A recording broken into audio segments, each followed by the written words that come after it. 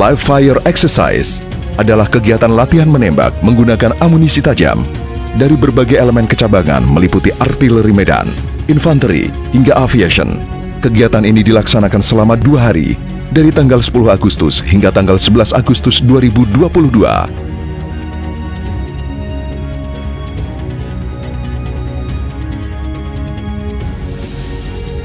Di dalam live fire exercise ini, masing-masing elemen akan saling bertukar materi dan informasi. Tujuan dari latihan ini, selain memahami sistem persenjataan, adalah terjalinnya interaksi dan komunikasi bagi seluruh pelaku, sehingga dapat menciptakan hubungan persahabatan yang baik di antara personil masing-masing negara.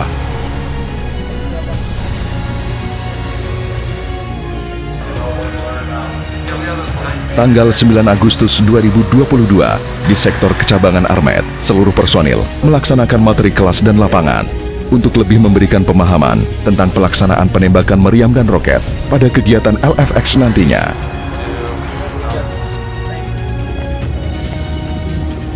Di lokasi Satbak Meriam, baik dari US Army maupun TNI AD, terlihat antar personel sedang berinteraksi, mencoba mengoperasikan cara kerja persenjataan meriam di antara dua negara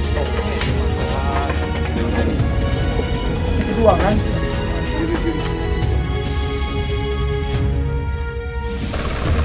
Selain latihan teknis pengoperasian meriam, juga dilaksanakan kegiatan materi aplikasi Slinglot.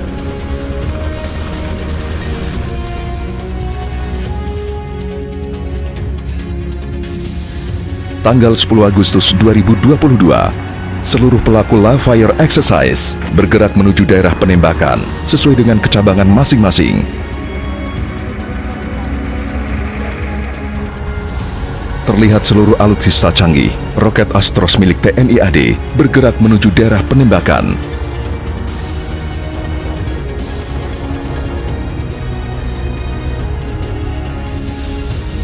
Disusul oleh rombongan meriam 105 mm milik TNI Angkatan Darat.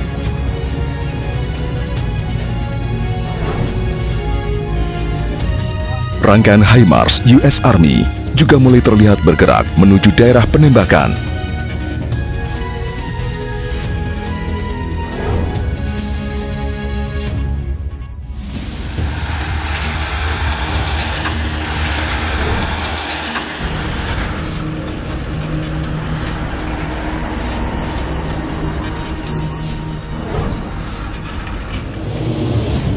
terlihat kendaraan khusus Meteo berperan sebagai pengamat cuaca dan bersiap mengarahkan para personel untuk melaksanakan penerbangan weather balloon untuk mendapatkan data cuaca.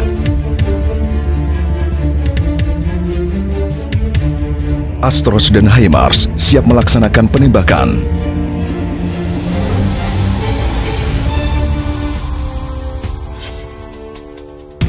Akhirnya, Satuan Penembakan Roket Astros dan HIMARS melaksanakan penembakan roket.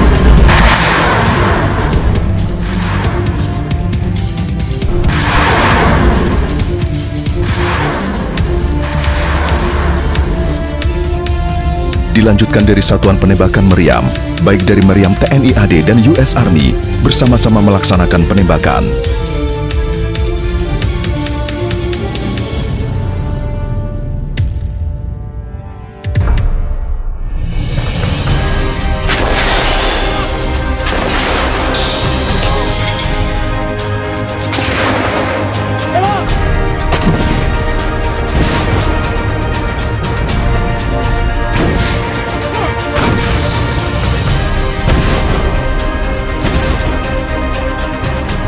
Beberapa momen yang unik yang saya rasa ada dalam latihan ini yaitu tentang penyamaan kultur tentang kebiasaan milik US Army yang saling kita beradaptasi agar dapat membentuk satu kesatuan, dapat membentuk satu kekeluargaan yang baik dengan mereka.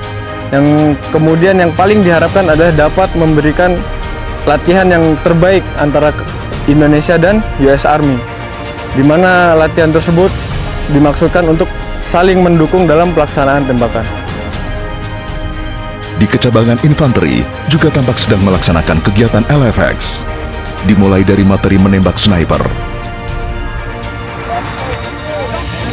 menembak senapan, menembak senjata mesin,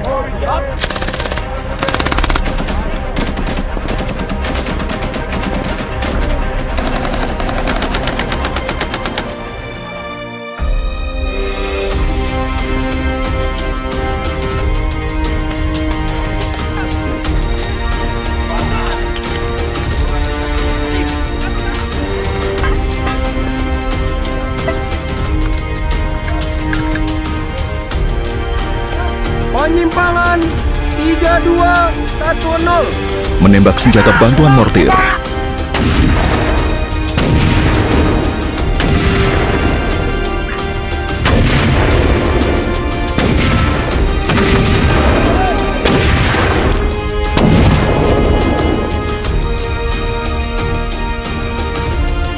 serta pelaksanaan penembakan javelin.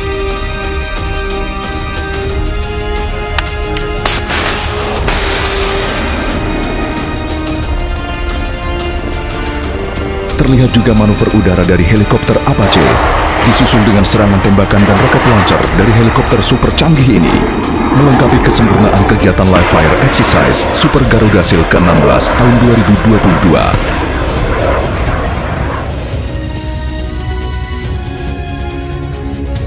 Pada malam hari, juga dilaksanakan kegiatan menembak malam dari meriam 105mm milik TNI AD dan US Army. Serta penembakan malam oleh helikopter Apache. Live Fire Exercise, banyak momen berharga dari latihan ini. Merasakan kebersamaan dalam latihan yang menyatukan berbagai negara. Jaga selalu persaudaraan kami